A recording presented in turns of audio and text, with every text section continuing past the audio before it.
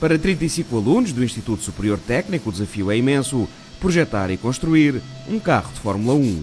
O modelo tem motor elétrico e está em fase de construção. Quando for para a estrada, conseguirá chegar dos 0 aos 100 km em pouco mais de 2 segundos.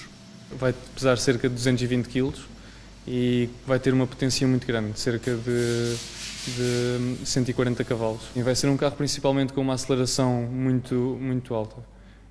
Um, Estamos a falar de quanto? Este carro está estimado em fazer uma aceleração de 0 aos 100 em 2.6 segundos. Portanto, será um carro que vai ganhar. Sim, esperemos que sim. Era, era, era muito bom que sim. O carro irá depois competir na Fórmula Student, uma prova que reúne algumas das melhores faculdades de engenharia do mundo, apostadas em melhorar a capacidade dos futuros engenheiros.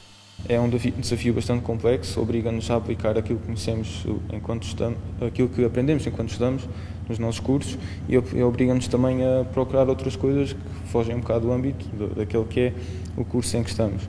Portanto, aplicar todos estes conceitos a um projeto como este é bastante complicado, o que nos prepara, como já disse, para aquilo que vamos fazer no futuro. E é assim que vai ser feito a asa da frente e a asa de trás também. A partir de quando é que está despachada a asa da frente? Uh, o wet layup estamos a contar a fazê-lo entre quarta e quinta-feira. Ou seja, até ao fim da semana a partida está feita a? Sim, exato.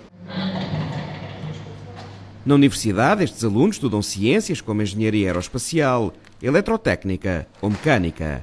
Aqui são responsáveis por todas as componentes do projeto, da propulsão à aerodinâmica, passando pela logística ou pelo marketing. As várias peças para a Fórmula 1 estão a ser fabricadas no Centro de Formação Profissional de Évora, onde existe o equipamento adequado à complexidade técnica do desafio. Direto a televisão portuguesa aqui? Não, em direto. Ou em direto? Não. Está fixe. Mas faz parte da Tem aqui uma marca, olha aqui. Faz parte da qualidade. Faz parte da qualidade. É boa. Foi um polo tecnológico que foi construído de propósito para suportar a atração de investimento estrangeiro e para consolidar esse investimento.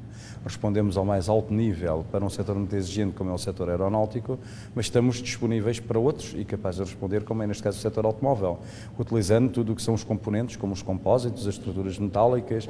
O veículo, denominado FST, vai para a estrada no próximo mês de junho. O projeto é apoiado por mais de 50 empresas nacionais.